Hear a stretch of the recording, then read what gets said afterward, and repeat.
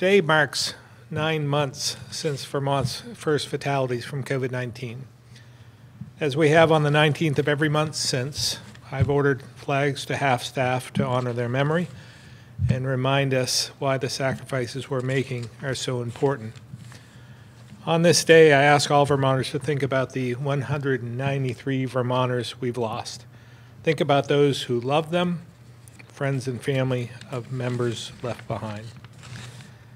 And think about the responsibility each of us has and the choices we make to help protect those who are vulnerable due to their age or certain health conditions.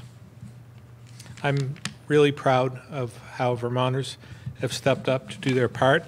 That's why Vermont continues to have one, if not the lowest uh, death rate in the country. And fortunately, we've seen a significant decrease in deaths and hospitalizations since January. Our vaccine strategy is a major part of this as well, but it's up to each of us to keep this moving in the right direction, and that means following the public health guidance. Now, I know we're all getting tired of it, but the better we do now, while we continue to vaccinate those at greatest risk of hospitalization and death, the faster we can get back to normal. About 95% of Vermont's deaths have been people over 65. So every dose that's diverted from this population puts them at risk and slows down our exit strategy because after the oldest Vermonters and those with certain conditions are vaccinated, our healthcare system won't be at risk and fatalities should be rare, and we can begin to return to normal. And as a reminder, Vermont has one of the oldest populations in the nation, which makes our strategy even that more important. Fortunately, we're making great progress. And since we opened registration to those 70 and older on Tuesday, over 21,000 in that age band have already signed up, which means we'll be able to open to the next phase very soon. Next, uh, I was asked uh, Tuesday about the status of the Vermont National Guard deployment to Washington, D.C. I'm happy to report our mission is complete and our soldiers are returning home this weekend. As a reminder, I approved this deployment just over one month ago because states were asked to help ensure the peaceful transition of power following the violent insurrection at our capital. We were asked to extend the mission because of their performance and professionalism. We should all be very proud of how they represented us so well, and I want to thank all the members of our Guard for their service and for helping defend our most basic democratic principles. Finally, we're announcing a couple of changes to our guidance today. In a few minutes, Secretary Smith will talk about changes to long-term care facility protocols as we complete vaccinations of residents. And, as I previewed on Tuesday, we're announcing a change to our travel policy.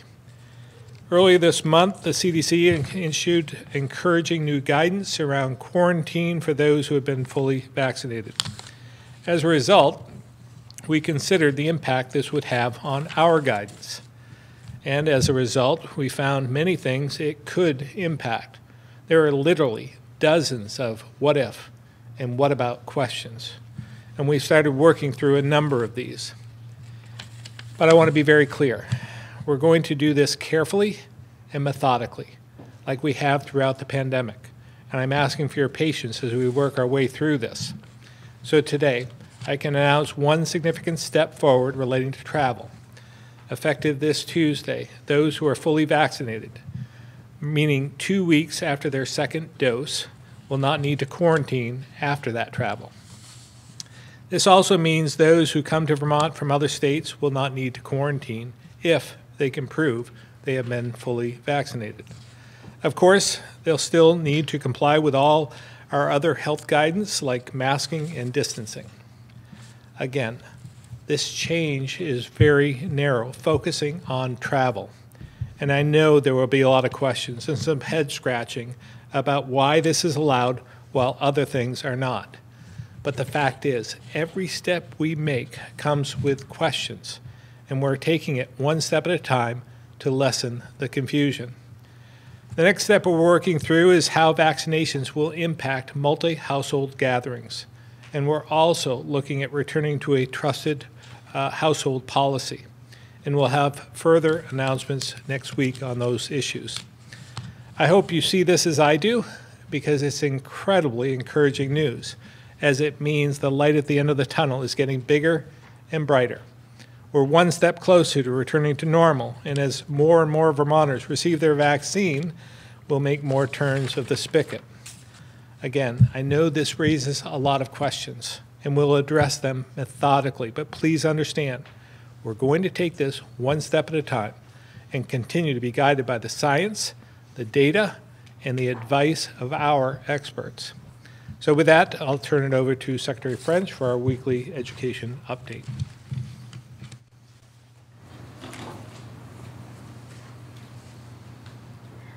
Thank you, Governor. Good morning. I think you're on mute, Dan, or we're not hearing you.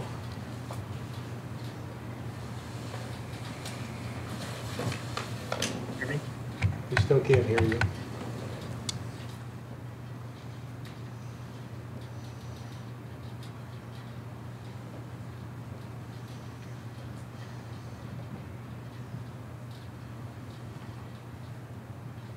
Hello?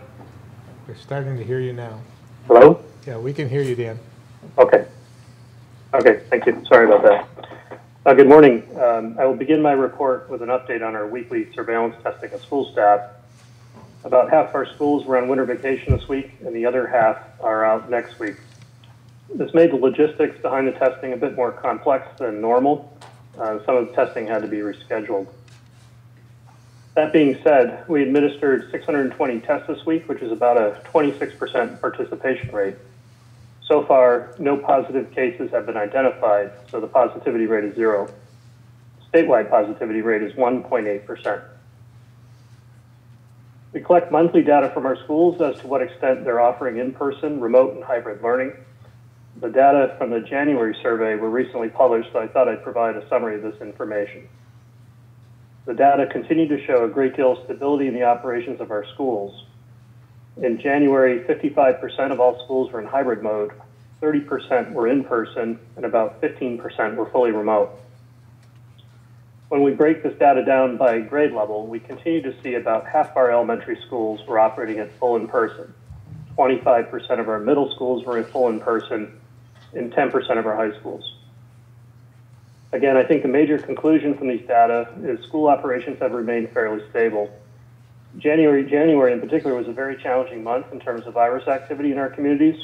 And in spite of these conditions, over 80% of our schools were able to maintain some degree of in-person instruction. I think we can draw two conclusions from these data. On the one hand, the mitigation strategies required of our schools work. And on the other hand, our schools have obtained operational fluency in implementing them on a daily basis. I think it is important to acknowledge that the achievement of this stability requires a tremendous amount of attention to detail in mitigation fundamentals and in communications. It takes a lot of hard work on the part of state employees and school staff and the active support of students and their families to make this all work. The success of our school operation is a direct result of their dedication to their schools, the students, and our communities. The CDC released updated guidance for schools last Friday. Uh, the U.S. Department of Ed also released companion guidance to support schools with implementing the CDC guidance. After initial review, I do not expect the new federal guidance will have much impact on Vermont's guidance for schools for now. The new CDC guidance seems to be directed more at those places in our country that never reopened their schools or are just starting to do so. We remain confident that our guidance is well designed and works well since we have very good testing system in place, both among the general population and among school staff, and the results of the testing consistently demonstrate our success. We had scheduled a normal review of our guidance this month, so our team will evaluate the federal guidance very closely and to see if we can improve ours in any way. On another topic related to federal guidance, uh, we continue to examine our options for implementing the SBAC achievement testing this spring. Our options in this regard are highly limited to what the U.S. Department of Education says they are, since these tests are required under federal law. Last spring, a national testing waiver was issued. We are expecting the U.S. Department of Education to issue guidance on testing for this spring, but probably not an outright waiver. It is not clear, however, as to how much flexibility they will impart to states in their guidance. We have seen a few states pursue waivers of their testing under the general waiver authority of the Every Student Succeeds Act, or what's called ESSA. We do not believe any of these waivers have been approved, however, and it is not clear if the general waiver provisions of ESSA are appropriate for the specific circumstances of the pandemic. On the one hand, we are, remain interested in having data for the patterns of student achievement in our state, especially since our students have experienced a variety of learning settings over the year, and the data would be, could be very useful for us in targeting and focusing our work in the recovery phase. On the other hand, uh, our test, the SBAC, and not every state uh, gives the same test, but our test, the SBAC, takes a significant amount of time away from direct instruction, in many cases more than a week.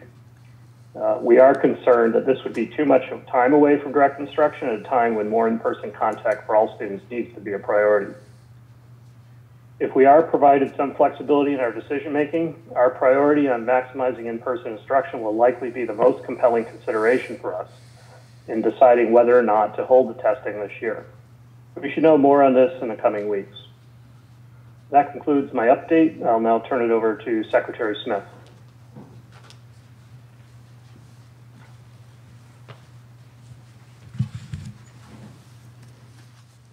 Thanks, Secretary French. Good morning, everyone. As many of you know, as of Tuesday, February 16th, any Vermonter age 70 and older can make an appointment to receive their first dose of COVID-19 vaccine. We received an overwhelming response this week, and as the governor said, as of today, 21,400 Vermonters age 70 and older have made appointments through our community vaccination program since Tuesday.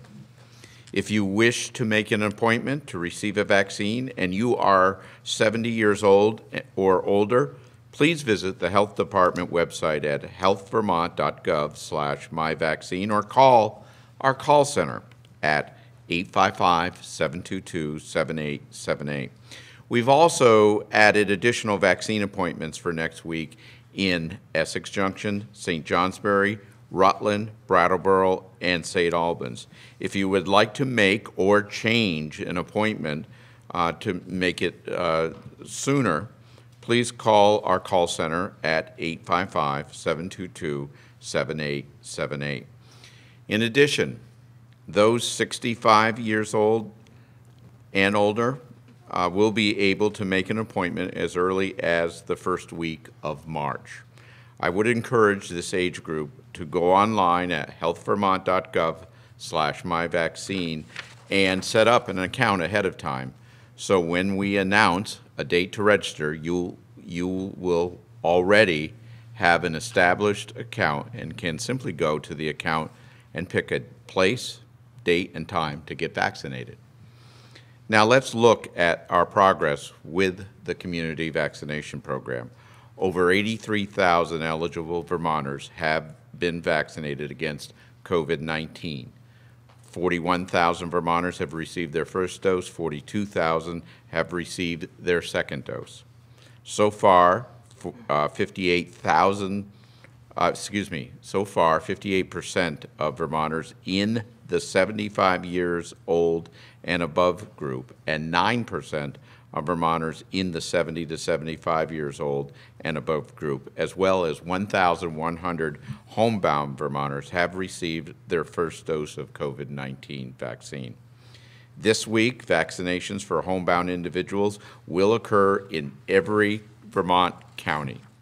Our planned allocation for next week is 720 doses, with the assistance from hospitals, primary care offices, and area agencies of aging our home health and EMS partners are working to identify homebound community members that do not receive home health services. As you may know, the state of Vermont has worked to protect some of the most vulnerable Vermonters living in long-term care facilities uh, against severe illness or even death. In fact, out of the 193 deaths that have occurred in Vermont from COVID-19, 125 have, were residents of long-term care facilities. Many of these residents were the first to see restrictions placed upon them back in March of 2020. And although we've loosened restrictions in the summer of 2020, we had to tighten things up, back up again in the fall and, and into the new year when we had multiple outbreaks and unfortunately deaths in our long-term care facilities. As we continue to roll out a successful vaccination strategy in our long-term care settings, and as we see the corresponding reduction in the number of outbreaks and deaths in those facilities, we are able to reevaluate our recommendations and ease some of the restrictions that those residents have experienced over the course of the pandemic. Now, we feel safe. We feel it's safer than it has before because of our ability to vaccinate some of the most vulnerable Vermonters. All of our uh, skilled nursing facilities have received both the first and second dose, and in terms of all skilled nursing facilities, assisted living facilities, and res residential care facilities, 93% of residents have received their first dose, and 74% have completed their second dose. Nearly uh, three-fourths of staff have completed their first dose and half have completed their second dose. We're happy to announce that next week, effective February 26, residents living in long-term care facilities in areas where there have been no COVID-19 outbreaks will be encouraged to follow the guidelines, the following guidelines. Um, encouragement to use full vaccination status as a factor, but not the sole factor, in planning for such things as congregate activities within a facility. This means beginning to allow congregate settings if the facility is within the CMS or Center for Medicare and Medicaid Services guidelines for county positivity rates. This means eating together and participating in other group activities within guidelines. On a case-by-case consideration, safe physical contact and recommendations for allowing that contact in specific circumstances, which includes full vaccination status.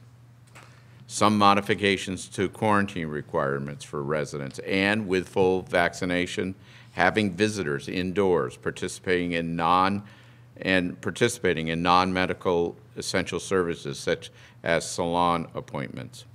Just for uh, information purposes, fully vaccinated means greater than or equal to two weeks following the receipt of the second dose in a two-dose series or greater than or equal to two weeks following receipt of one dose of a single-dose vaccine.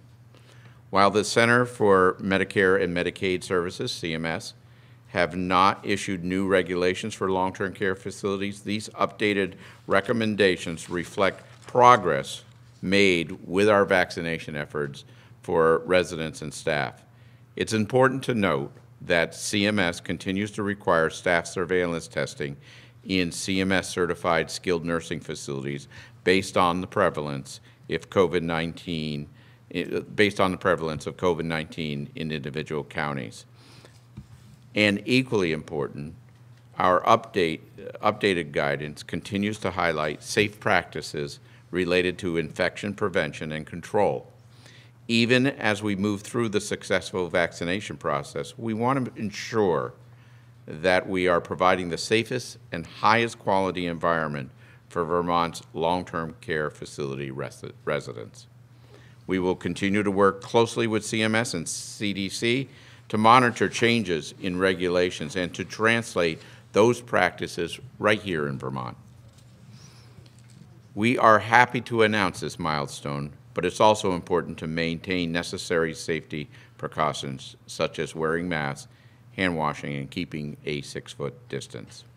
The Department of Disabilities, Aging, and Independent Living and the Vermont Department of Health have collaborated with our facility partners on this updated guidance, and I want to thank everyone for their work to make this guidance successful. I also want to change to another subject. I want to provide an, an important update regarding a federal initiative called the Farmer to Family Food Box Program.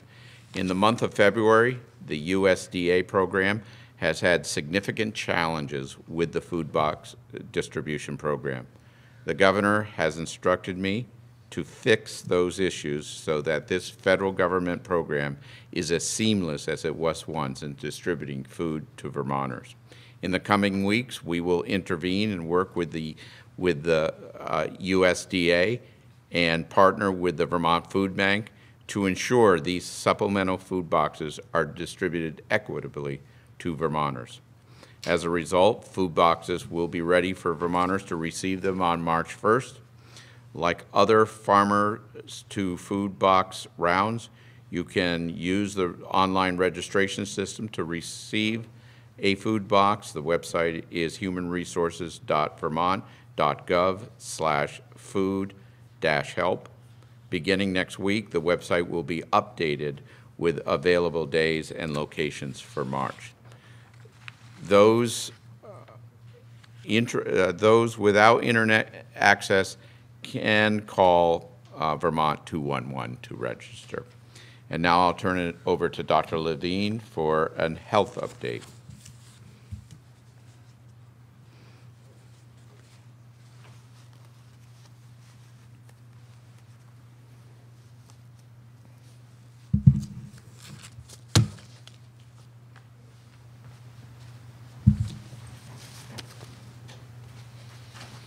Thank you.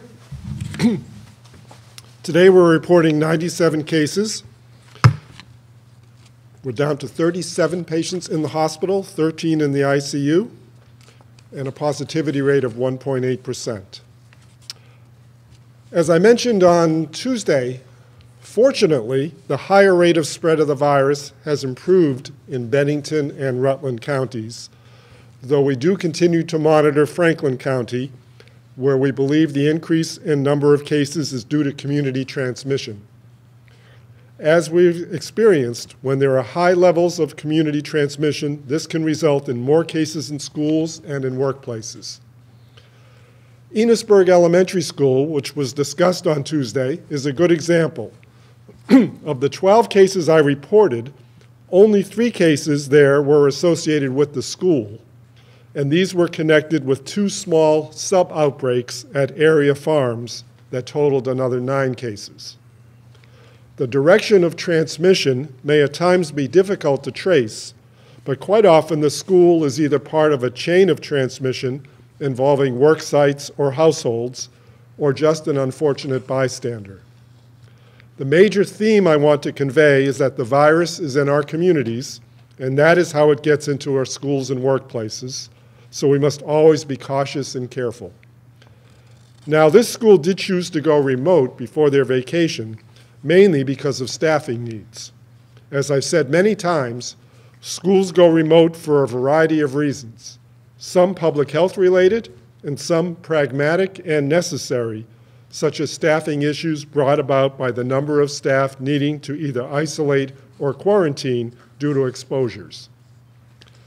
So even though we are sick of this pandemic, and even though many of us anxiously await a chance to get the vaccine, the virus is still a threat and we need to stay focused on keeping it from spreading. Avoid gatherings and crowds, wear your mask, and if you have any reason to get tested, please do it. It's easy and it's free.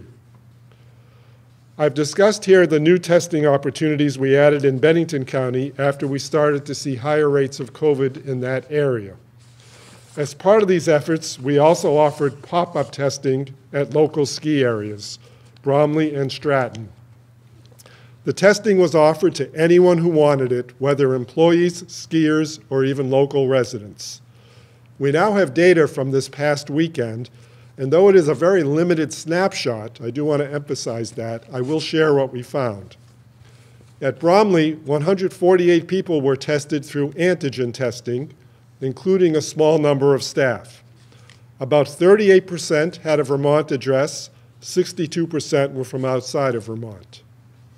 Bromley was a great partner in this effort, and officials there said the overall response was very positive.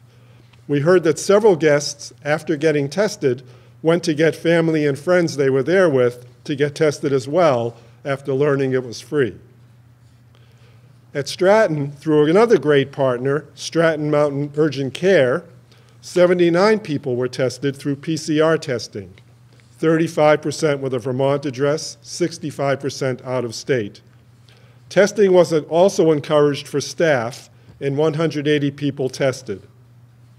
Out of all of these experiences, only a total of three positives were found. Keep in mind, antigen results need to be confirmed with a PCR. Now, keep in mind, we don't want to draw final conclusions from one, one weekend's testing efforts with one self-selected sample. But I did want to provide this preliminary data, and we were glad to see that people were receptive to testing at ski areas and plan to offer testing again this weekend at both areas. We thank the resorts for working with us and supporting the communities in these efforts. As we continue to suppress, uh, race to suppress the virus, we know that the emerging variants could make our work even harder. Our public health response won't change, but we do need to strengthen it, encourage better fitted masks, strict adherence to physical distancing, and keeping social contacts as few as possible. But these prevention steps we ask Vermonters to take are not the only tools at our disposal. We can ensure that our testing, tracing, and outbreak prevention and response strategies are robust, and that we can support people to isolate and quarantine when necessary. Vaccination also, of course, plays a role as we really need to get out in front of these emerging variants as quickly as possible. The less the virus is able to be transmitted from person to person, the less the virus can mutate, and the less chance there is for a more virulent strain to uh, occur. And finally, policies are also another lever, such as the CDC's new order requiring masks on all public transportation. These can play a key role. You just heard Secretary Smith talk about the new guidance coming for long-term care facilities. I first want to emphasize and reinforce the very positive public health data from this sector as a great illustration of the potential for vaccination to markedly impact people's lives and lead us gradually into the future that we're all eagerly awaiting. These slides are updated from Tuesday's presentation. Uh, first, you can notice, of course, that we're having marked decreases in active cases throughout the state of Vermont. And in the next slide, looking at our cohort of over 75 years old, a 75% decrease from mid-January. Keep in mind, vaccination began in this later part of December, and this is where we're seeing now a uh, significant effect. Note uh, here in terms of new cases and new vaccinations, the rolling seven days average. The yellow are the cases, the blue are the vaccinations. Vaccinations going up nicely at a very accelerated pace, and the uh, caseloads obviously coming down dramatically. And then finally, we are also noticing a marked impact on deaths over the same time period in our state. This is all deaths, but as we know, the majority of deaths are occurring in the older age ranges. Um, and you can see visually the dramatic impact. I just want to echo uh, some previous comments that we certainly recognize the toll separating residents from their loved ones has taken. We're glad vaccination efforts have been so successful in these facilities that it can help residents feel safe while making it possible to have greater freedoms in connection with others. Whether they're visiting with families, eating meals together, participating in group activities, we believe facilities can set a path forward and still maintain the safety standards we've all been dedicated to throughout the pandemic. The remarkably high uptake of vaccine is obviously able to work in the facility's favor. The other good news is that CMS regulatory language pivots off of the disease activity expressed as percent positivity rates in our counties. With rare exception, our facilities are free to be ambitious in implementing successive layers of freedom. The hope is that the aggressive posture that allowed us to protect people in these facilities can now just be as aggressively reversed to improve everyone's quality of life. But clearly, we will still guide the long-term care facility's use of the safest infection prevention and control practices and testing protocols. But imagine how differently a single positive case of COVID might impact such a facility in the post-vaccine era with such a high proportion of the residents protected. I have just one update on the vaccination front. Secretary Smith has already noted we're aiming to expand vaccination further to the 65 and older age group soon, and as you know, the next age group beyond that will be people with high-risk medical conditions. I can share that we are adding type 1 diabetes to the list of conditions that will be eligible for vaccine in this high-risk group.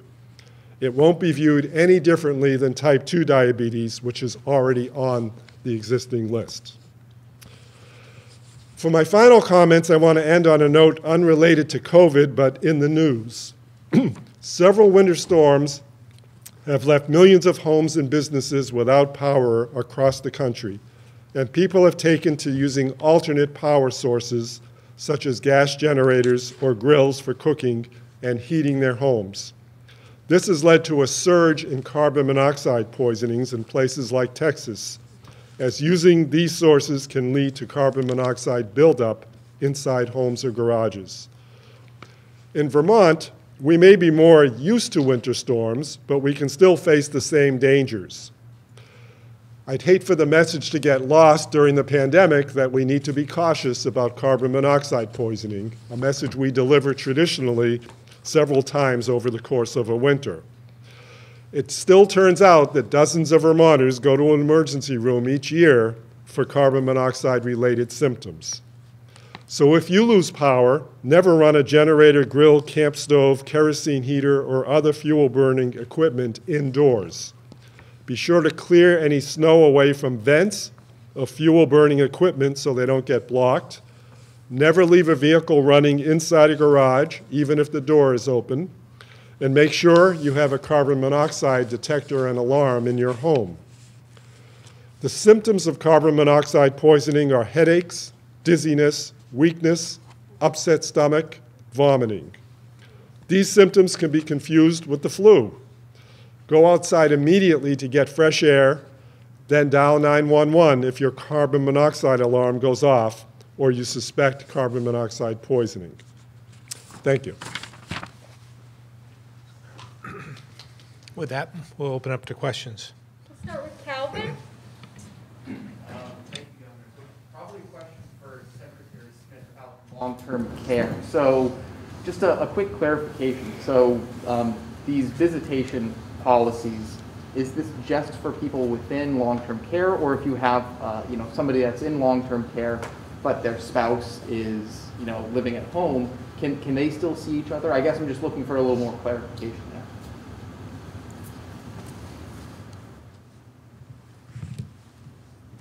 Sure, when we've sort of became more liberal in, in the recommendations, uh, you know, obviously vaccination of the resident is, is one of those considerations that we put in. Uh, we're leaving it up to the long-term care facility to decide what the vaccination sort of requirements are for uh, individuals coming in to visit. But I would assume that they'll be pretty, if you're not vaccinated, I would assume that they're probably going to allow visitation along that line. So if, does that answer your question? So if you're, if you're an individual, you're a relative of somebody that's in a long-term care facility and you're not vaccinated, um, our expectation is you'll be allowed to visit. Will be, okay. Um, uh, Regarding the, the winter storm Dr. Levine talked about, um, oh, actually, Secretary Smith, this is probably for you too. I'm wondering if we're, um, if, if we're going to see any of our vaccine allocations potentially delayed in the next few weeks as well. Uh, There've been, you know, problems at airports and whatnot. We, we have not seen our vaccine, uh, vaccine delayed where it has impacted us. As you, I have previously mentioned, we, we have about a thousand doses in reserve that we use for this specific purpose, that if there's a disruption in the supply line, or if there's a need like a spoilage or something along that line, that we can step in and not cancel clinics. We don't anticipate canceling any clinics right now because of the weather.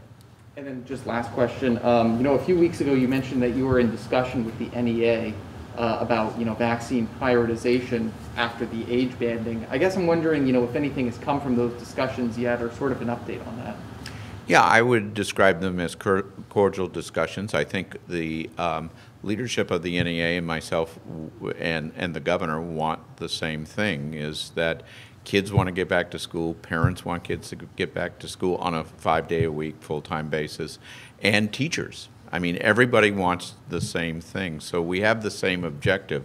As the governor has mentioned, there is a phase six that we're anticipating right now and trying to figure out what we're going to do with phase six. Phase five is what the, what Dr. Levine just talked about when he talked about um, uh, type 2 and type 1 diabetes. Uh, those are with people with serious health conditions, underlying serious health conditions. We're still in discussions on what we're going to do with phase 6. Um, but I can, I, I can say that uh, we're both looking for a path forward on where we're going to go with those vaccinations and, and having um, pleasant and positive discussions. Thanks. Yes, uh, th- this could be for the governor or Secretary French, probably. Uh, uh, With the federal guidelines that have come out, uh, there was the, uh, the thought out there that uh, it may alter. You're saying it's not going to alter the, um, the state's guidelines. But I believe the state's guidelines right now for all grades is three feet between desks. And I think the national is six, which is double that. So, you know, are there little tweaks that are going to be going on, or how's, how's that going to work? Again, I'll let Secretary French answer this, but uh, those are just what they, they uh, reflect, uh, guidelines. Uh, And as uh, Secretary French had said, uh, they were mainly aimed at those who haven't opened up at all. We've been open up since the beginning. Uh, In fact, 30% uh, of our schools at this point in time are in-person, I believe, four to five days a week. Um, And then we have about 20% who, wh- which are remote. Uh, The rest, 50%, are uh, hybrid. So we've already proven ourselves uh, in some respects, uh, and we don't intend to change our guideline at this point in time. But Secretary French. Yeah, thanks, Governor. I, um, you know, just to reiterate uh, your point that, um, you know, we've had success with what we're doing. And just to clarify, we, um, we have three feet at grades K through six, but six feet in grades seven through 12. And uh, when we, we made that decision very early on based on, you know, what we're seeing internationally in, in the science, if you will, that younger students are uh, less susceptible to the virus or its transmission. So that stood us well. And once again, I think the other side of that is we have confidence uh, that what we're doing is working because we have uh, pretty substantial um, testing, and particularly surveillance testing on a weekly basis in our schools. So I think we'd know if it wasn't working well. Um, so we, we, I think, will remain uh, on our track that we are and monitor uh, our progress. But certainly, you know, as I mentioned, we welcome guidance like the CDC's. I mean, anything we can learn to improve our approach, we're definitely open to. So we'll we'll continue to um, you know partner with with folks at the national level to improve uh, what we've done and also to share what we've done because it, it stands uh, you know the other piece of CD, CDC guidance is stands um, out that uh, many of the things we're doing are now incorporated in uh, the national guidance, which is good to see. And uh, thanks, Mike. Uh, And as far as the, um, the reopening, the turning of the spigot, um, where are we at now? I mean, the numbers are looking pretty good. Uh, Businesses, some of the businesses are at 25% still. I think hairdressers and some other folks are. Uh, Do we see us, uh, uh, another uh, little turn there at some point here? Yeah, again, I think the, the uh, announcement today is a huge change in terms of travel. This is going to have um, a beneficial effect on many. For those who are Vermonters who want to travel, uh, to visit, let's say, go to Maine, uh, maybe do some snowmobiling or do whatever they want to do, they can travel and come back without quarantining. Uh, So this is a, a, a big improvement in a, in a we're going to have to see how this works. We're going to work next week, as I said before, on uh, trusted households and, and further uh, refining what this means when you're vaccinated. So, but you can expect as we continue to see the numbers uh, go in the in the right way, as we're, experiencing right now, uh, that we'll continue to turn uh, the spigot just a little bit more uh, every week. We hope. Well, uh, along those lines is what I was talking about, the, uh, the planning process for a lot of these events that are going to be coming up as we get further into the year. Um, Where are we at as far as that goes? I mean, uh, Yeah. you know, the, Again, we'll pro- provide uh, clarity as soon as we have um, some comfort as to where we're going. I mean, I mean, there's still, uh, you know, I, again, positive developments in many respects, um, but, uh, but there are also uh, some areas that uh, give us a little bit of pause. We just want to make sure we're doing it for the right reasons, uh, so we don't have to go backwards. We want to keep moving forward. And that's what we've done since the very beginning. Uh, It's, it's, um, I believe, has, uh, has uh, uh, done well for us in some respects, and we'll continue to do that. thank you. Stewart, NBC5. Good morning. Uh, in light of the bump in federal vaccine supplies coming into the state, I wonder if you have any sort of more insight. Um, you said that 65 plus will open the first week of March, week after next, um, and then the those with the list of chronic medical conditions following that. When do you think the general population might uh, expect to become eligible? Well, again, we're going to consider that next phase after we finish with the health conditions uh, category, but that's a fairly significant population. Um, I'm, I'm guessing it's around 75,000 uh, at this point in time. So um, we have a little bit of time to determine where we go next. Uh, but uh, you know, the age banding, uh, from my perspective, has worked very well. It's uh, it's not confusing. People know where we're going, and it's easy to administer. So, again, we'll we'll you know weigh that all out uh, before we make an announcement on where we go next. But we want to get people through as quick as possible. I think Dr. Fauci had said uh, this past week that we might be able to have um, most of the population done um, midsummer. So I think we're falling in line with that, and uh, we're hopeful. We continue to build on the supply and what we're seeing with the, from the manufacturers, increasing their their inventory and, and supply and getting them out to the states is positive news. And we'll continue to work with the federal government to make sure that we receive our share. Okay, let me ask you a political question second, uh, Governor. Um, a young man named Colby LaMarche uh, resigned his position as chairman of the Burlington uh, Republican Party and from the Vermont Republican Party last night. And in a letter uh, that has been made public, uh, decried uh, what he called the unfortunate truth that the Vermont GOP has now been hijacked by far right extremists who have attached themselves to uh, what he called the extremist former president. Uh, and so he felt he has no chance but to leave and said the party is headed for electoral disaster as a result. Do you agree with him? Have you spoken with him? Is this sort of the way you see things as well? Um, I have not spoke uh, spoken with him. I, I read that account. Um, I think it's unfortunate. You know, a, a, younger person involved in the Republican Party is uh, good news, um, and I appreciated uh, all his good work. Um, what we see, you know, whether it's a Democrat or Republican, uh, you know, you see the the extremes of both uh, both groups uh, at the at the party level and, and beyond, and some of their voices are, are very loud. but I still believe the vast majority of Vermonters on both sides of the aisle uh, are in the majority. I think it's that that centrist, uh, moderate voice uh, that a lot of us will will react to, and um, and that's where I see us going in the future. But um, but again, acknowledging that those voices are loud, and and from his perspective, he didn't feel he had a, a, role to play. But I'm hoping in time that he'll be able to come back. Thank you. Sean, the Chester Telegraph. Thank you. I I think this is for uh, Secretary Smith. Um, we're hearing stories about some geographic problems in scheduling vaccine appointments here in southern Vermont. By, for example, we heard from an 80-year-old from the Chester area who was scheduled in Montpelier, which is a 200-mile uh, round trip. Also, uh, someone who was scheduled from who wanted to go to Springfield and ended up in Windsor. And at the same time, we're also hearing that there have been people from Chittenden County who've been scheduled in Windsor County.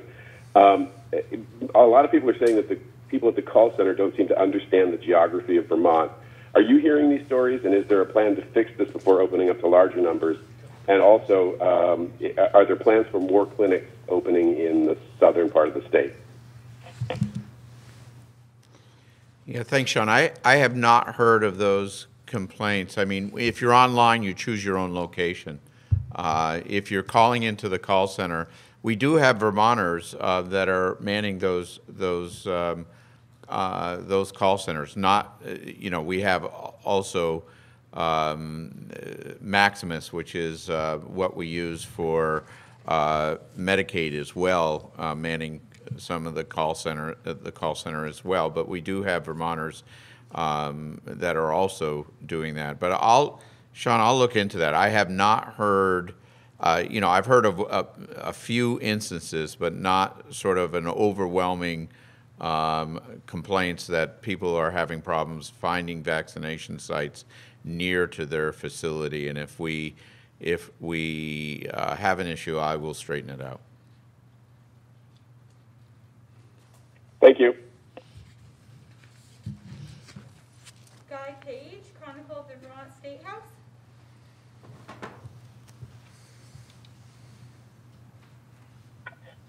Governor, today's reopening of travel raises questions about what will be the state's response to people who decline vaccination.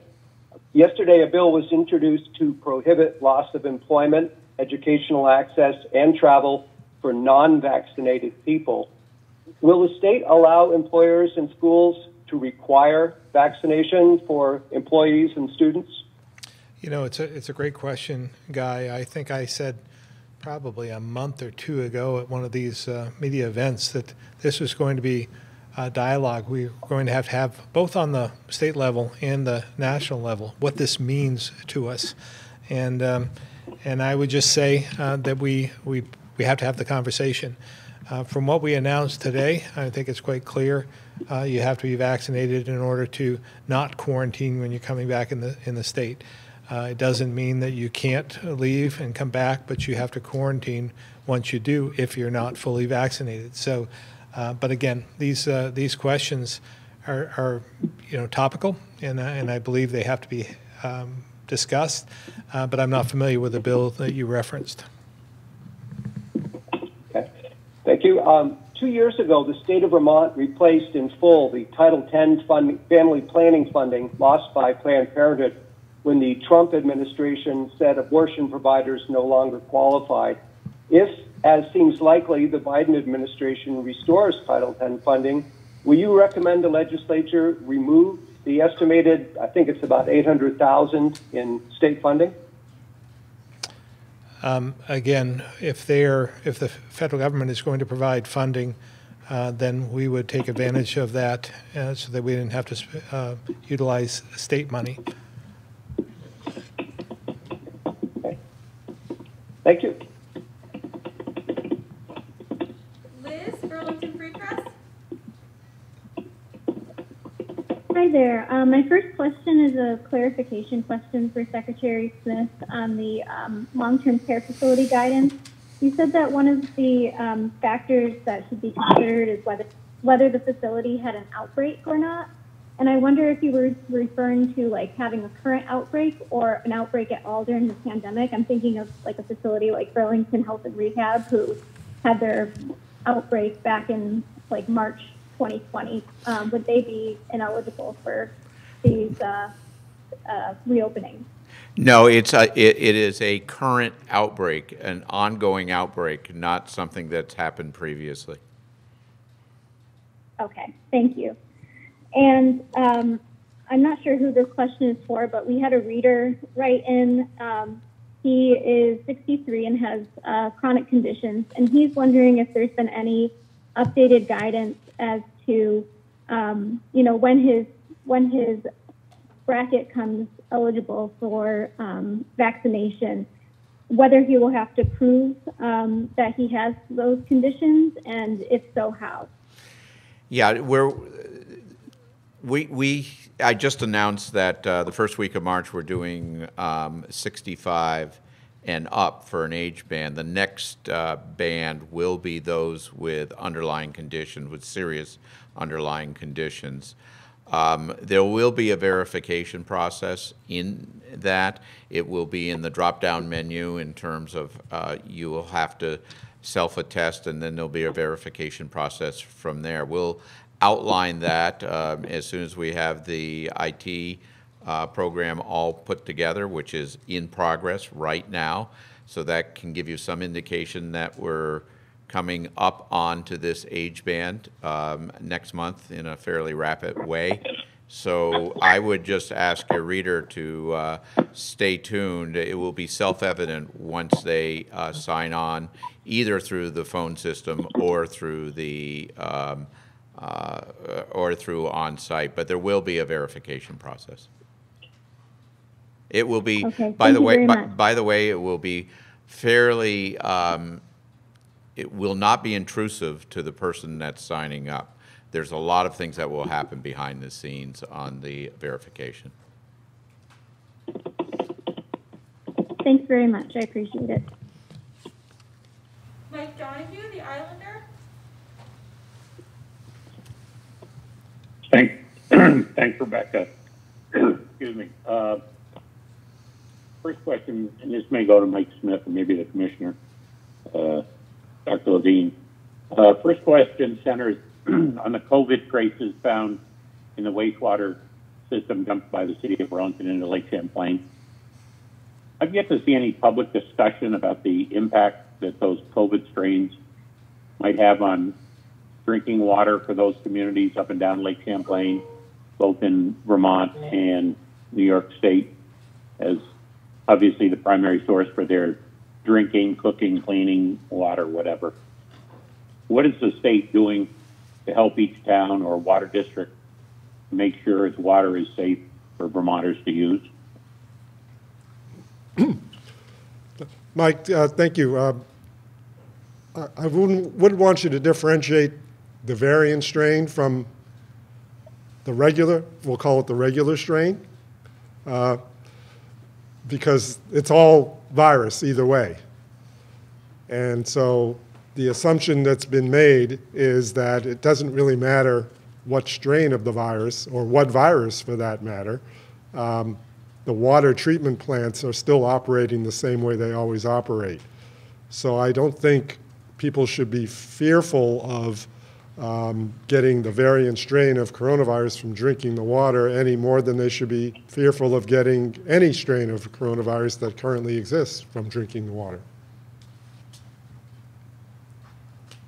Granted, I, I'm, you know, maybe I made it too specific, but what are they doing to make sure that the water is acceptable? Chlorination process.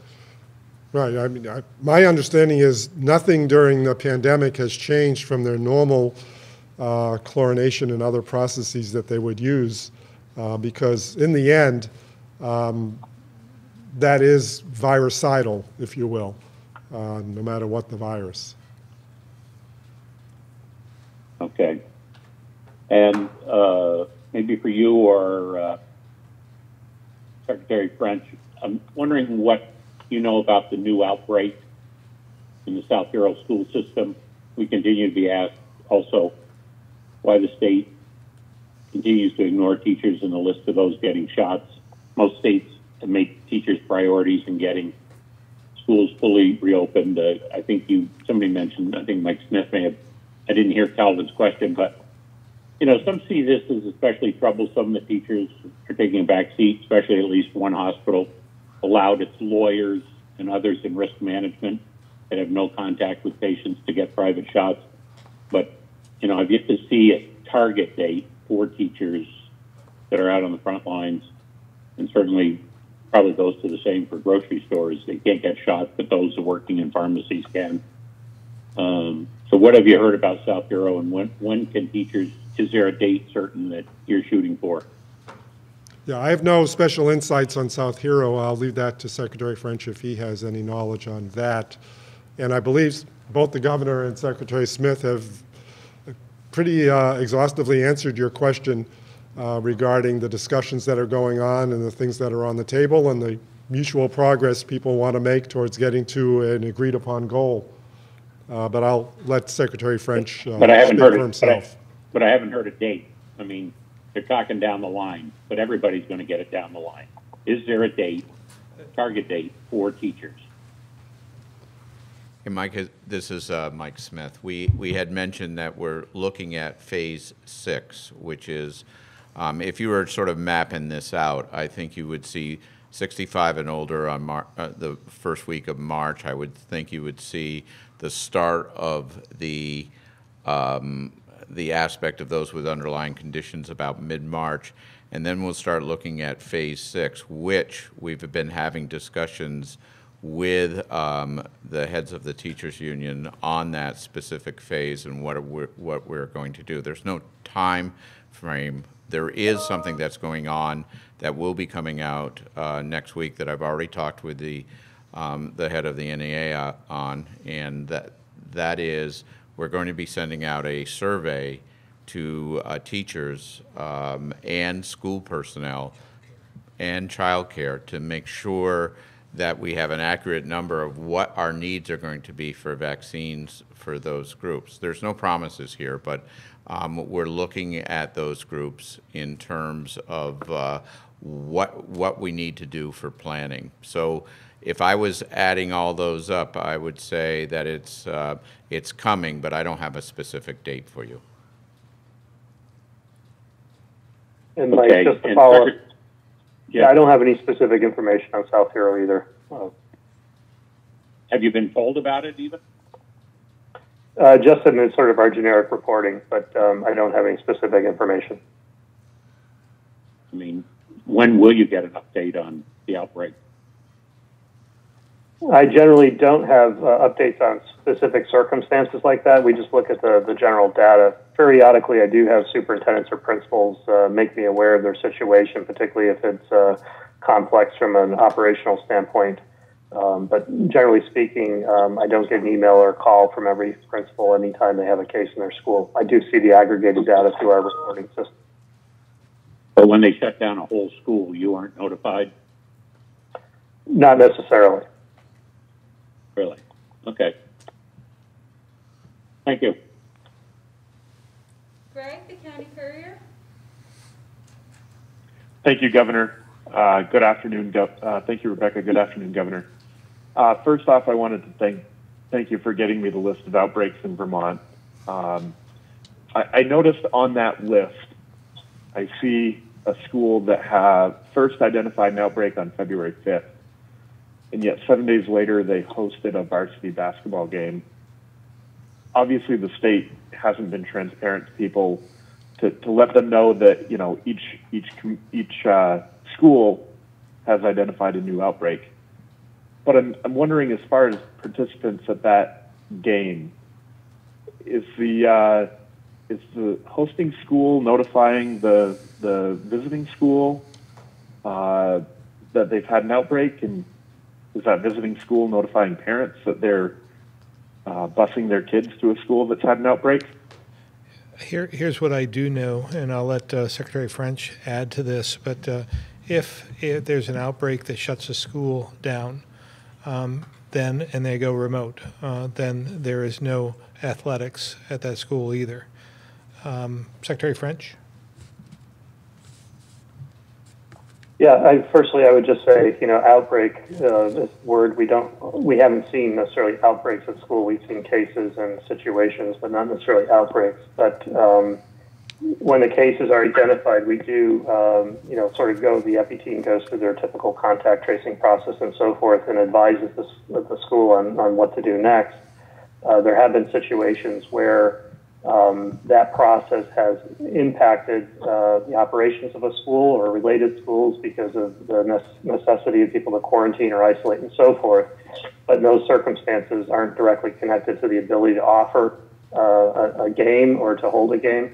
So there have been situations where um, a school has um, shut down part of its operation due to uh, logistical concerns, not necessarily directly related to the virus, but still held athletic competition. So, you know, again, just to give you a sense of the nuance involved, those things are evaluated very closely, and school districts are are given specific advice uh, on their situation. It might be helpful as well if I had Dr. Levine um, explain what an outbreak is, um, because it's not, uh, it's in some cases, not as dramatic as it might uh, appear. Thank you, Governor. In fact, in most cases, it's not as dramatic as it might appear. It is an epidemiologic definition that has to do with the setting that the cases are in and the epidemiologic linkages amongst cases. And in some settings, two cases constitutes an outbreak. And uh, Greg, uh, you probably noticed on the list that we sent to you, uh, there are a number of situations that are listed as worksite A or worksite B and don't have a number of cases assigned to them because, again, they are so small in number uh, that they would be identifying otherwise. So um, the school situation is such that you can have three individuals in a school and have an outbreak, yet that is the limitation of the entire number of cases there. And in fact, minimal, if any, number of people might even have to have quarantined because of those three cases, depending upon the circumstances. Um, so quite often, that does not result in a closing of any classroom or school at all, or going to remote learning, which would, as the governor just indicated, immediately uh, force the school to cancel all of its athletic competitions. Uh, so that is the way it's sort of put together. So I would doubt that there was a school that had an outbreak that closed it and put it into remote and then played sports the next day, uh, because that would be directly uh, in contradiction to all of the guidance that we've provided all along. I, I still don't think I got an answer though, as far as are parents notified if their kids are uh, being bused to another school that has very recently had an identified outbreak. Yeah, I don't believe. I, I would just.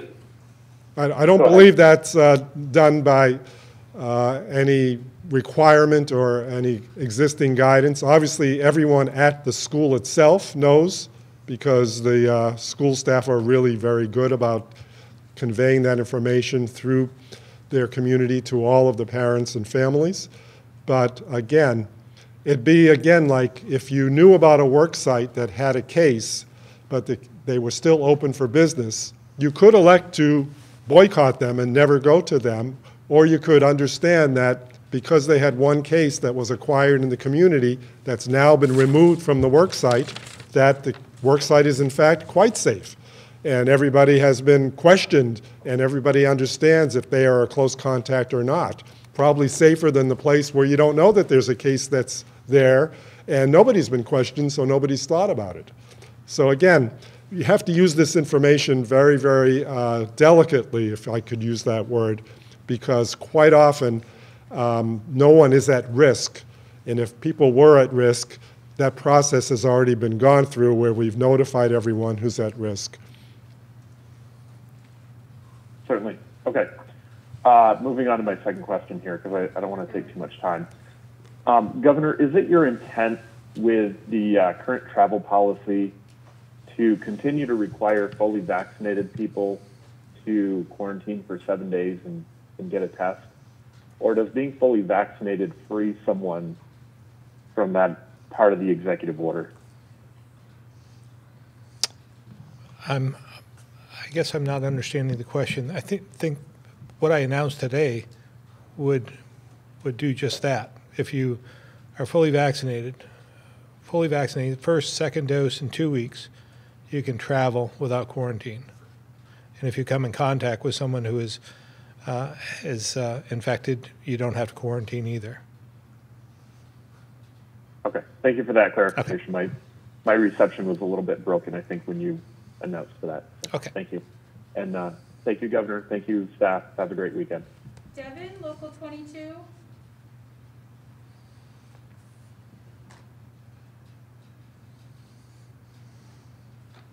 Yeah, my question uh, is about a store in Newport. UPS severed its relationship with it because they refused to comply uh, with the mask order. Um, they had warned them, or the Attorney General had sent them a letter back in November, and then another one on Wednesday. The store uh, ultimately ended its relationship. They had a sign posted on their door that said, "We choose not to wear a mask. If you're uncomfortable with this, we ask that you do not come in." Um, what is your reaction, uh, Governor Scott, to sort of the messaging that this store was putting out, um, saying that they're choosing not to wear a mask despite the mandate? Um, this seems to be an issue that's been pretty few and far between in Vermont, but something that uh, has been kind of a hot button topic nationally. What's your reaction to that?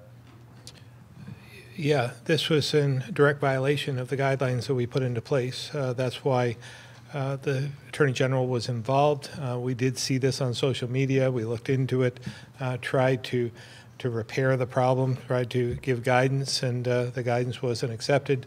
And it appears the uh, corporate UPS decided to get involved themselves and and and actually appears took away their their franchise. Uh, the unfortunate part from all of this is it was avoidable. Uh, if they just complied with the, the guidelines we put into place, and as the uh, UPS corporate had uh, had asked as well, uh, they'd be open today. And I'm hoping, um, and again, this is out of my control. It's they were in violation of their franchise agreement with uh, corporate UPS, but it'd be my hope that they could find a path forward to reopen following our guidance. We don't want to shut any businesses down. All right, thank you. Lisa, the AP.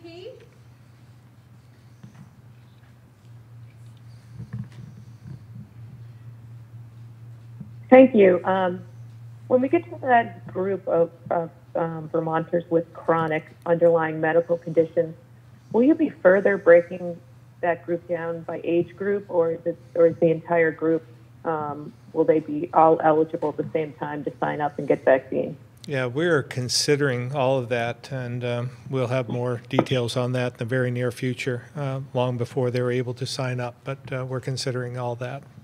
We just want a seamless uh, process uh, that's easily understood and gets us to the end as quick as possible. Okay, thank you. Kat, WCAX. Hi. Got another question about the long-term care facility guidance changes. Just wanted to absolutely clarify for a viewer who wrote in and was confused.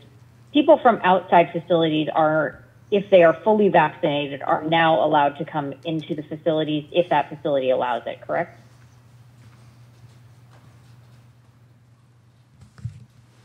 Kat, if the facility allows it, you don't have to be vaccinated to come into the facility. I think uh, Calvin asked a similar question. That what we are saying is that because the person inside the facility is vaccinated. Now, it can be one of the criteria, but I would suspect most will just keep in, uh, you know, we have the resident vaccinated and visitation policies, indoor visitation policies, I think, will remain um, that we won't require people uh, coming in to be vaccinated. Got it. I wanted to clarify because we did get a couple of emails after the questions were asked earlier wanting us to clarify that. Okay. And the next question I had on that front was, how, what is the way that the, um, the state is going to be advising these facilities on what's the appropriate way to gauge the safety of certain measures that they roll out? Are you going to be giving them specific, like, here's Yes. what we recommend you do, or is it the type of thing where each facility gets to, you know, have a pretty broad um, leeway with what they choose to have as their policy? There are two ways that we're going to be doing this. One, uh, you know, the skilled nursing facilities have to uh, still adhere, adhere to the CMS guidelines, and we've sort of worked around those guide, not worked around, worked in conjunction with those guidelines in order to uh, be specific. We're going to re- be releasing a whole set of guidelines for all um, long-term care facilities. Uh, In that, we're going to be holding um, uh, discussions with those long-term care facilities to make sure that we answer every single question that they have. And I think that's going to happen next week as we, uh, as we roll out these, uh, these guidelines. And will those be online so that people who are curious can go see them? Yeah, I'll, I'll try to make sure that they're online, Kat, so that it- anybody can see them.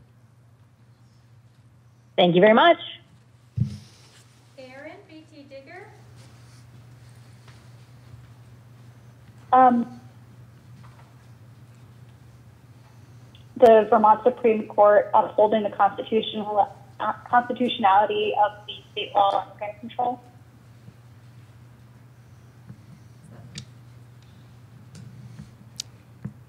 I don't, I don't know if I got the whole question. Do you have any thoughts on the Vermont Supreme Court upholding the state law that bans high-capacity gun magazines?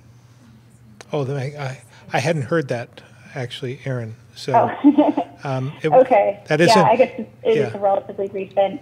Mhm. that, uh, that doesn't surprise Um, me. We thought it was constitutional from the start, but uh, doesn't surprise me that they found it so. Mhm. Mhm. Yeah, just to kind of clarify, the court wrote an issue uh, issued ruling uh, today. We conclude that the magazine ban is reasonable regulation of the right of the people to bear arms for self-defense. Um, this is the law that you signed in April 2018 in response to the alleged school shooting or after the alleged school shooting plot in Fair Haven.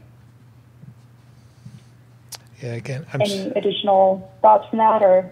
yeah, unfortunately, Aaron, I didn't hear all of that once again, but, uh, uh, but I- uh, we, um, you know, I support anyone uh, challenging the Constitution, um, constitutionality of any uh, law that we might put into place. It's fully within their rights. They did so, and uh, the Supreme Court appears to have uh, upheld that. So again, we thought it was constitutional from the beginning, and uh, the Supreme Court appears to have agreed with us. So um, again, I, but I support anyone's right to, uh, to at least challenge that.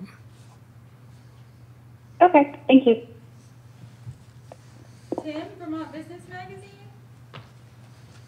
Hi, good afternoon, Governor. I have a, a general economic question for you, and I was wondering after uh, Commissioner Harrington can update us on when the good 1099Gs will be going out. But as far as the economy is going, you know, the revenue report uh, was was pretty good that came out uh, earlier this week, especially on the personal income tax. That looks pretty good. Uh, the ski areas look they they're having um, really a surprisingly good uh, season. The snow has been phenomenal. Um, cases have been low, and um, so I'm wondering. And the the national economy seems to be softening. I'm wondering if what your take is on the Vermont economy now, uh, given sort of early results. Well, again, I, I would go back to, um, while our economy has improved over the last uh, number of years, three or four years, uh, as reflected in some of our budget and the surpluses we've seen and, and so forth, um, it isn't as, it still isn't as good as it should be. Uh, That's why we put in a lot of the measures in place. We want to grow our economy. We want to make Vermont more affordable. And we put a lot of uh, uh, issues forward uh, that uh, the legislature has agreed to and uh, come up with some on their own as well. So we work together to improve the economy. It's got a long ways to go. But if you're comparing to what uh, we had before to what other states might have had before that had stronger economies, theirs has probably softened. Ours has improved. Um, and I, I believe uh, that we, if we do things right, and, and especially with some of the, the surplus funds we find ourselves with, uh, the one-time money, a couple hundred million dollars, if we invest those in the right areas, I think we can have an even uh, much more improved economy, a stronger economy uh, in the end. So uh, that's why we're working so hard uh, to try and identify those those areas where we make those investments with one-time money uh, to make strategic uh, decisions about improving our economy in the future. I was kind of thinking of uh, just anecdotally this this moment in time. How are, how are you feeling about the, the local economy? Um, again, I, uh, I, it's it's much better than I thought it You was going sound to be. reluctant. yeah. Well, no, I'm hesitant because uh, it's supported uh, by an influx of federal money. Um, so this is a you know we're in we're in good shape today, uh, but this isn't a real solid foundation. This is built on billions of dollars of injected federal money uh, into our economy that's helped us. Uh, the, the trick is uh, to make sure that we come out of this when the, the federal money's gone so that we can support ourselves, stand on our own two feet. Uh, so these strategic investments I've been talking about are vitally important to being able to accomplish that in the future. Okay, great, thanks. If, if Commissioner Harrington has an update on the 1099s, that'd be great. Hi, uh, thank you, uh, and thanks for the opportunity to share the information. Uh, right now, we're still on track to have the new uh, 1099 uh, mailed out uh, by the end of the month. our extension that we requested um, runs out the first week in March, so we should be able to get the 1099s out before our extension expires. Okay, great, thank you. Thank you. Derek, seven days. Hi, uh, my first question is for uh, Secretary Smith. Uh, I'm wondering if these forthcoming long-term care guidelines will require or recommend that a home have a certain proportion of its staff vaccinated before uh, they relax these visitation uh, restrictions. And, and I ask that knowing that we've seen how outbreaks among staff at these homes have created critical shortages that can affect the quality of care. Yeah, we, we have, we're still maintaining the regimen of the pretty um, uh, rigorous regimen of testing uh, in long-term care, care, facilities, and we've had great response in terms of uh, those staff that have uh, gotten vaccination. Um, we, in our guidance, we aren't requiring vaccination. Um, it's going to be an individual choice, but uh, that is staff and residents. Now, like I said, we've had tremendous uh, uptake on uh, on the vaccination, and and I think it will continue as we uh, as we move forward. But we have not required that they uh, that they be vaccinated. That's an individual choice. Okay, and so the so the guidelines won't won't say, you know, the state recommends two thirds of your staff be vaccinated before you do X, Y, or Z. No, we recommend that you be vaccinated. We're not yep. we're we're not putting any criteria yep. on that. Uh, as I said, three fourths of, three fourths of the staff have been vaccinated. I think I said three fourths of the staff have been vaccinated, and and uh, we'll we'll go. Yeah, uh, nearly uh, three fourths of the staff have completed their first dose, and half the staff have completed their second dose. Great. My other question is uh, uh, related to the new travel rules uh, for folks who are vaccinated. Is is that going to be um, an honor system to prove that you are vaccinated, or does the state issue any sort of proof of vaccination card that people could carry with them? There, there is a vaccination card. All states should have this. It's mm-hmm. uh, federally issued, I believe. Um, mm-hmm. And I may ask uh, Dr. Levine to to explain further, but everyone should have the card with them whenever they travel in or out of the state and be prepared to show it when asked.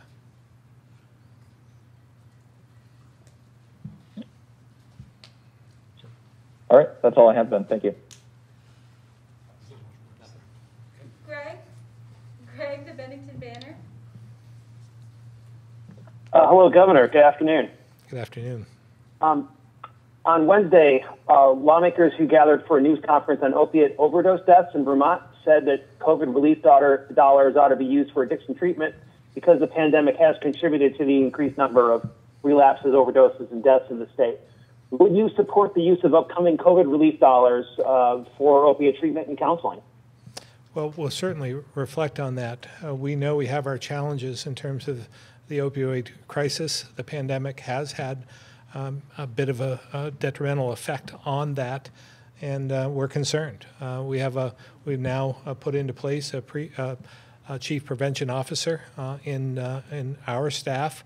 it was former Commissioner Monica Hutt is now on the fifth floor with us, and as our liaison. And as well, I've spoken to Secretary Smith about upping our efforts in this regard to get back on track to get the treatment that, uh, that we need. Uh, Secretary Smith. Thank you, Governor. We, um, we've recognized that the pandemic has isolated people, and in those isolated cases, um, we've not had the results that we want in terms of op- opioid deaths.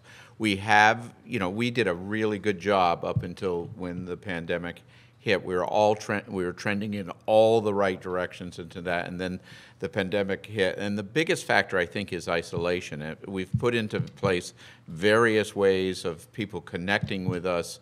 Um, uh, Commissioner Squirrell from the Department of Mental Health talked about a couple of those, but we are putting together a task force within the agency and coordinating with um, with the Chief Prevention Officer, Monica Hutt, in order to make it a statewide effort in, in order to redouble our efforts in, in this area. Um, we can't lose ground, no matter pandemic or not, into this, and we need to uh, address this, uh, this situation as we move forward. Dr. Levine, do you have anything, or did you? Okay. As Secretary Smith said, know, there'd been probably a five or six year continued growth in opioid overdose deaths, and then uh, the year before the pandemic, we had a dramatic decline, actually. Um, that coincided with a lot of successful programming. Uh, all of that programming has gone on, and as uh, Secretary Smith has just said, the root cause is really the isolation produced by the pandemic. The fact that people, first of all, vulnerable individuals who are already uh, in the thralls of substance misuse were confronted with a pandemic and the extra stress that that could provide, potentially uh, uh, increasing their use.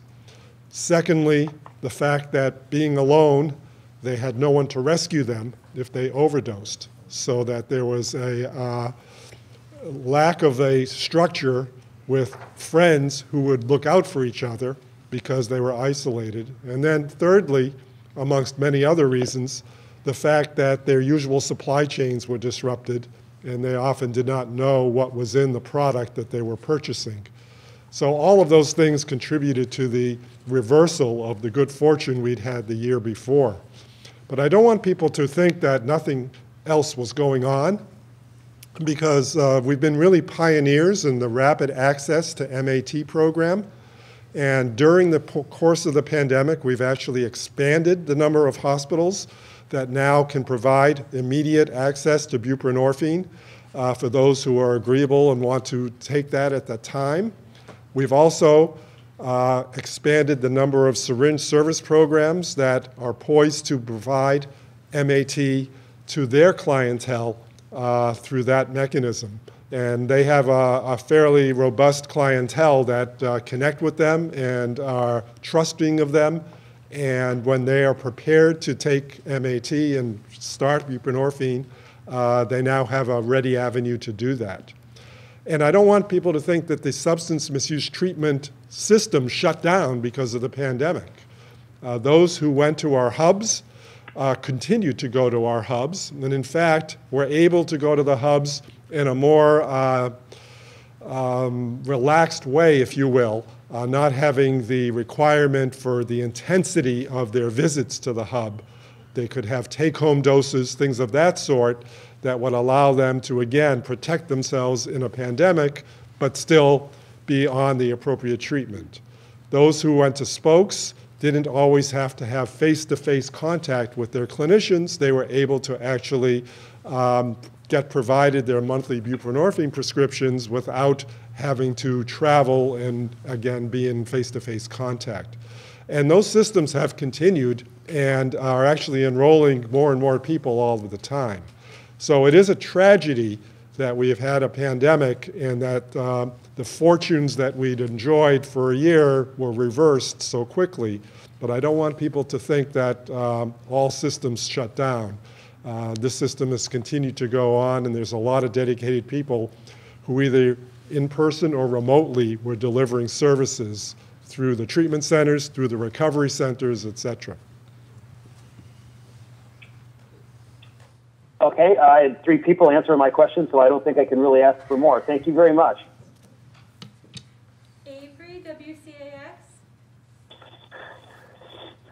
My question is likely for, my first question is likely for Dr. Levine. We were forwarded a letter from a UVM parent that said that the UK variant has been found on the campus, but we were confused as to whether that meant in the wastewater in Burlington or whether it was discovered with a uh, test of, of a person. Yeah, if that letter is correct, that that parent has way more insight into situations than the entire campus administrative community and the state of Vermont, um, and must have sequenced something on their own. All we have is the two mutations that were found in the wastewater. None of the subsequent genome sequencing specimens have shown the variant, but I will uh, say we still have more to test. And uh, three days from now, we're going to get more results back, and we'll see what they show.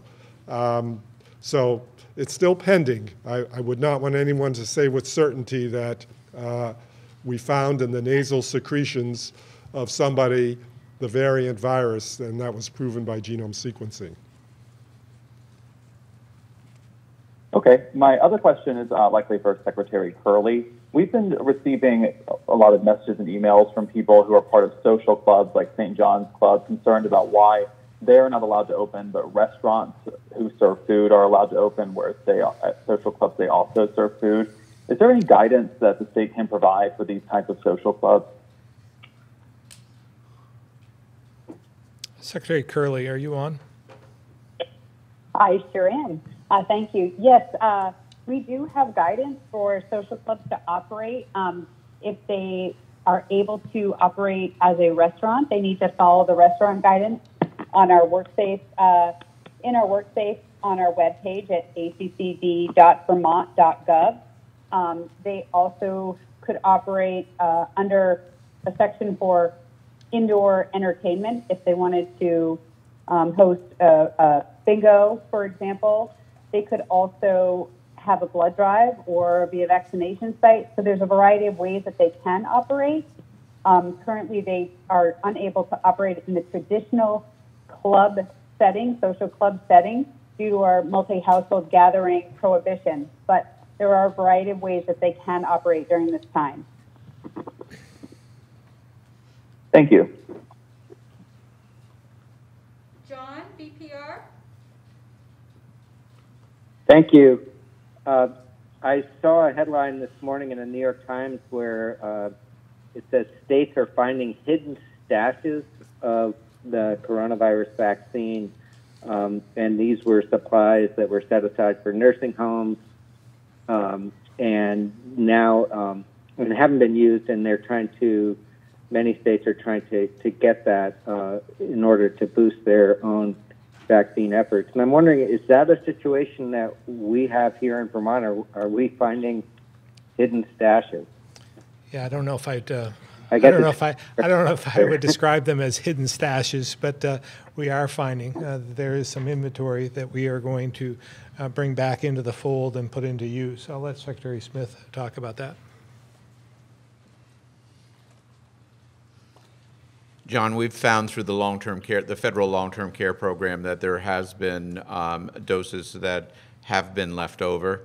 Um, we are we've collected uh, 2,800 doses from uh, CVS, and we're in the process of, of, of getting back uh, 7,000 uh, doses. Those are first and second doses from Walgreens that haven't been used. As you know, we used our allocation to give them um, portions of our allocation up front in the beginning of the 1A uh, phase. Now we're starting to recapture those doses back into our systems. And uh, we've received the, the 2,800 and have immediately redeployed that. And we are uh, looking at getting the 7,000 first and second dose back and redeploying that as well. And so uh, these doses are now, um, are you figuring them into your calculation of, of sort of the time frame for the next age band, et cetera? Does, does it allow you to move things up a little bit, or has it allowed you? Yeah, we, we got to be a little bit careful with that, John, uh, because it's one time. It's a one-time bump. Uh, right. So we're, we're figuring it into our calculations in terms of our age banding, but at the same time, we're looking at a more sustainable uh, flow that's coming in as we, as we move forward. I think, um, the- you know, next week, it's like 13,000 uh, doses. Don't, it- it's just, it's over 13,000, but I don't have the precise number with me. Okay. Um, and then under the new uh, policy that if you're quarantined, um, I'm, I'm sorry, if you've been vaccinated, you don't have to quarantine if you if you've been out of state. Um, but would folks still have to, uh, or still be unable to visit uh, other households, other families? Um, I know you're you're addressing that later on, but they could folks could be vaccinated but still be unable to meet with friends and family. That's, that's, uh, that's, here. that's correct. Come back. Yeah, that's correct, at least for the time being, and that's exactly what I was talking about. It raises a lot of questions, the what-ifs, the what-abouts, and uh, we're going to address those next week.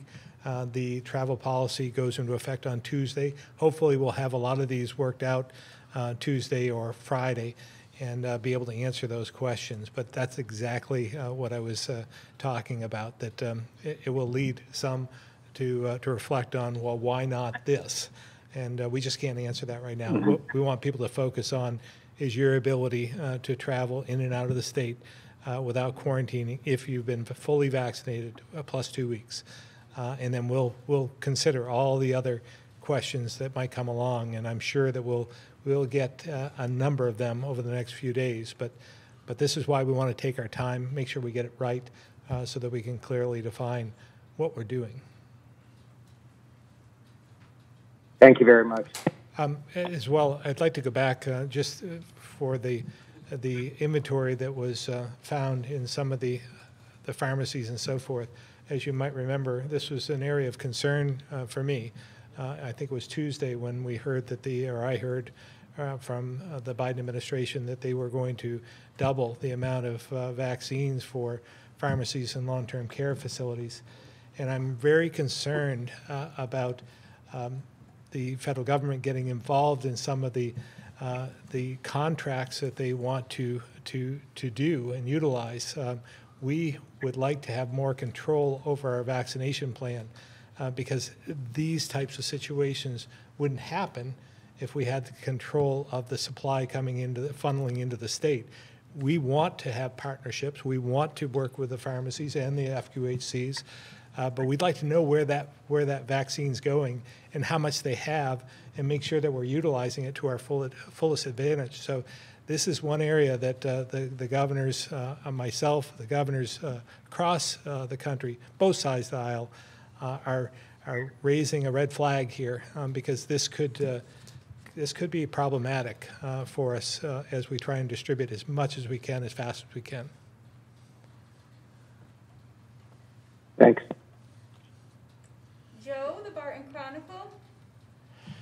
Um, hello. I don't know whether this is a topical question or not, but um, when there was the conversation about antigen testing earlier, um, it occurred to me that uh, someone who's been vaccinated might show up as positive on that. I, I could be wrong about it. But if that is the case, can the antigen test be used over time to um, monitor the uh, length of time that uh, a, va- uh, a vaccine remains effective? Dr. Levine.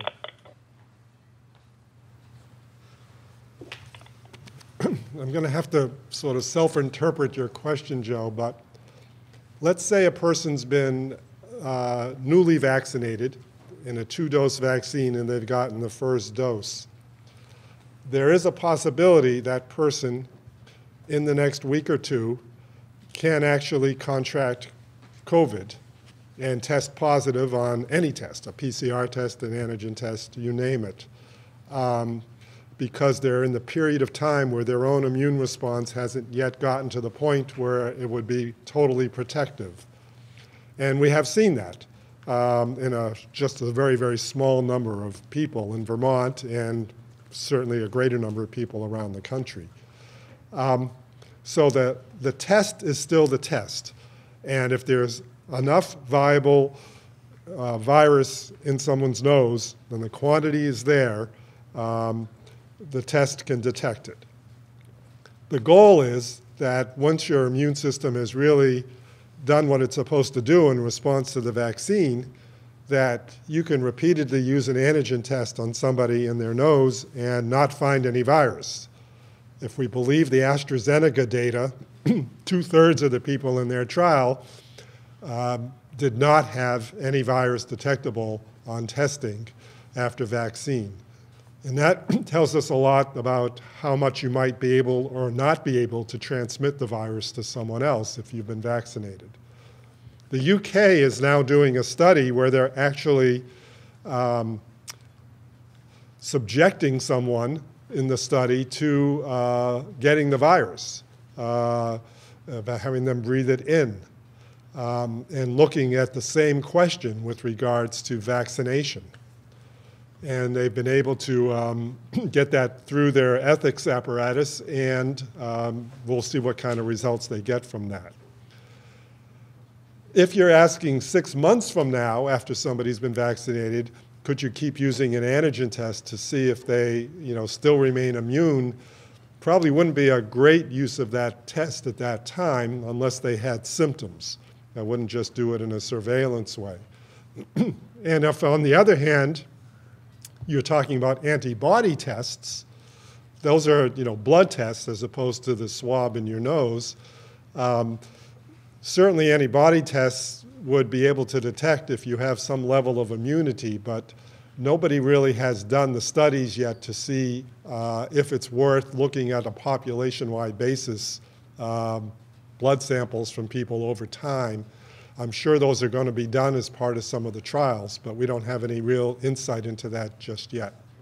So I hope with that sort of lengthy answer, I covered what you wanted me to. I think you did. Um, I obviously had uh, a misunderstanding about antigen and antibody tests.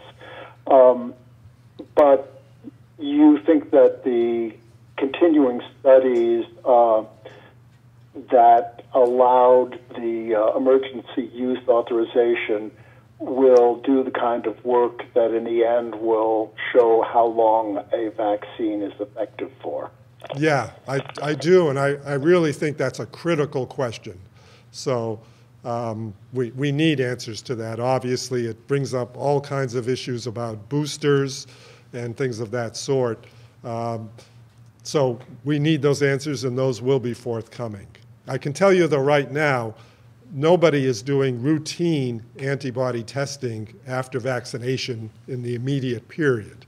So you get your dose, or you get your two doses, depending on which vaccine. Uh, there's no requirement or intent that you get an antibody test to check on what happened or didn't happen. Uh, we will assume you are vaccinated and that you hopefully have a higher level of immunity to the SARS-CoV-2 virus than you did before the vaccine. Thank you. That's very clear.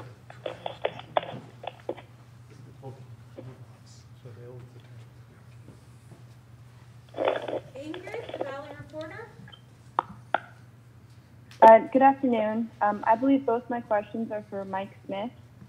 Um, if someone is vaccinated, is eligible to get the vaccine, and they move to Vermont, what constitutes residency? Uh, does someone have to be a resident for a certain amount of time before they are eligible to get the vaccine? How is residency verified? We have two cri- criteria. Um, one, you have to be a Vermont resident and you have to self-attest when you sign up that you're a Vermont resident, or you have moved within the last six months and intend to be a, uh, a Vermont resident. Those are the two criteria that we have. In both of those instances, you have to self-attest. Do we, um, we're hoping that Vermonters, and we know that Vermonters, uh, in most cases, um, and perhaps in the vast majority of cases are self-attesting truthfully. I see, and there's no time requirement. Um, well, well, you have to be. You have to be. My other question. Yeah, you have to be a resident, to, to be a resident, you have to be here six months. But if you've moved within that six-month period and you intend to be a resident, that qualifies as well. Okay. And my other question is a follow up from um, a question asked by Mike Donoghue last Friday. Uh, have you gotten an update on the VA vaccine, vaccine distribution program? Um, I did. It was um, it was a, it was last week. Um, I don't know if it's ongoing. They're getting, and I will check on that. Um, but it is for those that are veterans and those that are 65 and over. And by the way, um, the more the, the better in terms of what we can do in this state for vaccination. But you have to be a veteran and you have to be over 65 in order to take advantage of the VA. And I, that's all I know, Lisa, right at the moment. Okay, thank you very much. Yeah, I, I want to, yes.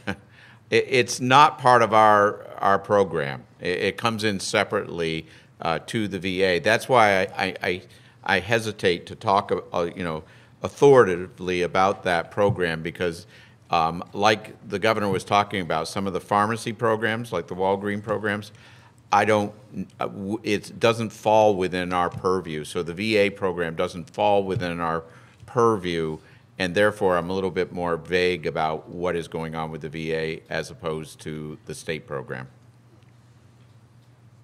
I see. Thank you very much. Tom, Compass, Vermont.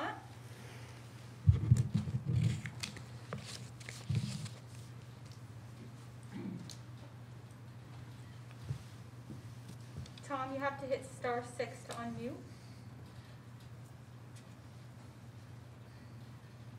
Can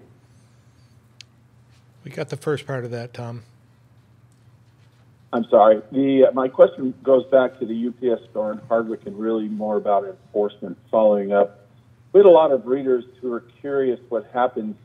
We understand the process. You the process is you first put a complaint into the portal, and the Vermont government then screens through those and tries to determine which ones um, are actually real and valid, and then goes through an education process with uh, local authorities uh, from there, if it doesn't work out, we understand it also goes to the Attorney General's office. What doesn't seem to be as clear to folks is how much action is the Attorney General's office taking? How often do they do more than just write a letter? And have they done full enforcement on any violators? Well, I can answer part of that. Um, thankfully, we haven't had that many that have elevated to the point the Attorney General has had to take action. But I can remember one in particular, and it was the Rutland Gym, um, and that actually went to court, uh, I believe, and there was a, a, decision made there, and, and it all ended uh, fine from our perspective. Um, and this one uh, that I know of. Now, whether there's been others, I don't know. Commissioner Schirling might have um, more insight into this? Good afternoon, Governor. Uh, you covered most of it. Uh, in almost every instance, there has been compliance gained as a result of a letter or letters and or discussions with uh, either the Attorney General's office or some cross section of folks from the Department of Public Safety and local law enforcement. Um, so it's uh, there just haven't been that many events. Uh, really, just the one that we're aware of that required uh, legal action. Everything else has been that has been elevated has been resolved. Okay, thanks very much. Tom, I don't know if I misheard you, but uh, the UPS store in question that was that was in Newport. I'm sorry, it was in Newport. You're right. Okay. Thank you, Governor. Yep. Andrew, Caledonian Record. Uh, yes, good afternoon. Thank you. Um, uh, this is likely for Secretary Smith. Um, you mentioned additional appointments being added next week to several towns, including St. Johnsbury. Uh, do you have a number on how many appointments that increases, uh, either in totality or by town? And um, why were uh, these handful of communities selected for this? the um, total number, I think, of slots, and that's all I have uh, in terms of uh, what has been added, is the total number of slots is is around 800 total number of slots. And the reason it was added is we had some vaccine that we couldn't use. Okay, and then um, somewhat on topic, have you been able to fold the doses that are getting directly allocated to the FQHCs into the state system, or how is that um, working out at this point? Yeah, I think the governor had talked about that. That's um, that's a concern of ours, and I, I, think it is actually a concern of coordination with the FQHCs. We've had a very good working relationship with the FQHCs and have allocated to some of the FQHCs actually state allocation. Now, as they roll on to the federal program, how do they sort of register? Do they use our registration system? How do we account for what's going on? Do we back off our um, our allocation based upon what the federal allocation? How is this all coordinated? And the governor had, has mentioned this. Um, there is concern across the nation with governors, as he had mentioned, that you, you start layering on different programs that aren't connected to one another, and the complexity of trying to keep all that coordinated becomes immense, depending on how many layers that you, uh, you put on. So um, to answer your question, we, we, we haven't figured that out yet in terms of how, what this is going to look like, what their allocations are going to be, how their allocations are going to be coming, in, in what size, and how we coordinate all this. So have those direct allocations from the, the federal government not yet arrived at the FQHC? I don't think they have yet. Um, I'll have to double check on that, but I don't. I, you know, there is one that is scheduled to arrive. I'm not sure that it has yet. Okay. And then um, uh, second topic on the school music guidance. This comes from a reader um, who's associated with a school music program, um, wondering about the 30-minute rehearsal time limit uh, and why uh, sports teams can uh, play games or practice um, uh, for longer stretches of time than a music rehearsal. Uh, and they're wondering if there's any method to um, to be able to practice longer than that, perhaps uh, changing physical locations or waiting for the air to clear and then resuming rehearsal after a certain amount of time. Secretary French. Yeah, thank you for the question. Uh, yeah, our music guidance came out this week. As I described, it is fairly technical, so we're, we're really interested in feedback and ways we can improve it. Uh, the 30 minute rehearsal time limit does come from the national recommendation.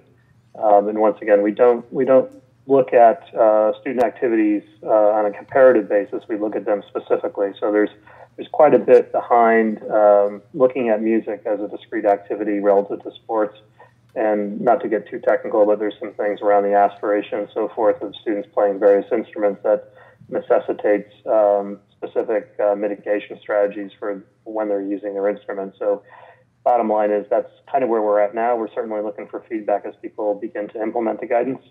Um, the last part of your question, um, the only way I think we would permit uh, extended rehearsals now is outside, um, and albeit the weather's not that great for that, but hopefully soon we'll be able to, to do more of that.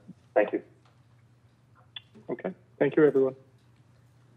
That's it. Okay. Well, thank you very much for tuning in, and we'll see you again on Tuesday, hopefully with more good news.